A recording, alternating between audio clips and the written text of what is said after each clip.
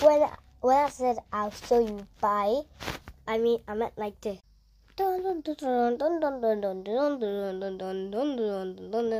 Just wait. There you go.